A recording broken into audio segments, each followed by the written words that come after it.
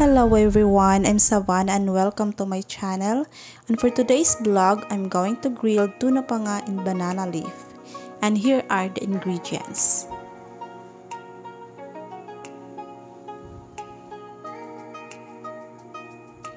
First, you have to pour the marinade into the mixing bowl. And for this recipe, I used 2 packs of Mamacita's barbecue marinade. In preparation of my 1 kg tuna panga or tuna jaw.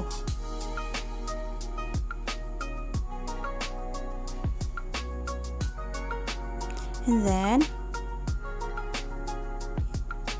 add the oyster sauce.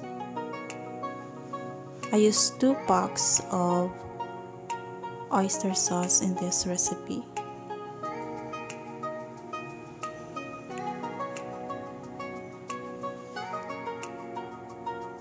And then you have to mix it well. Because the oyster sauce is a little bit sticky. Halo-halo lang po na mabuti. Para mag-incorporate silang lahat.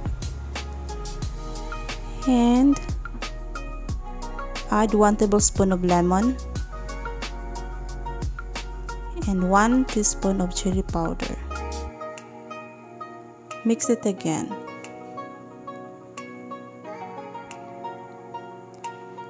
and 5 cloves of garlic.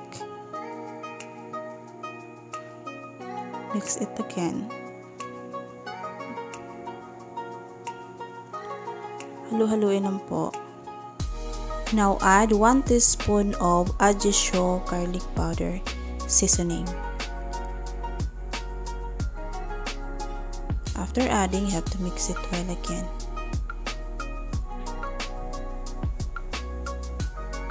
Mix and mix lang po. And then we're going to prepare for our marinating procedure.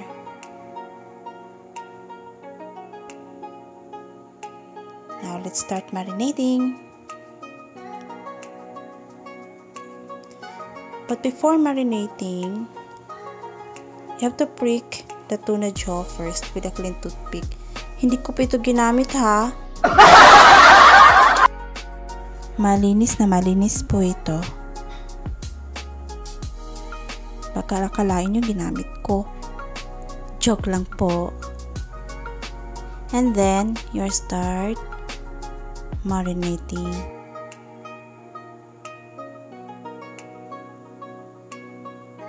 As you can see, I poured it over the marinade into the fish.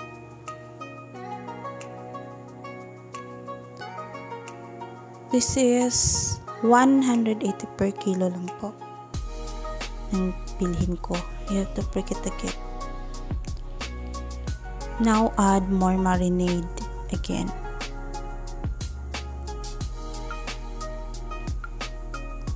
You have to massage it if necessary. And if you have more marinade left, you can add more tuna jaw. And prick it again. Follow the same procedure. And here it is. Add more seasoning mix because it makes more tastier to your food. This is good for one week.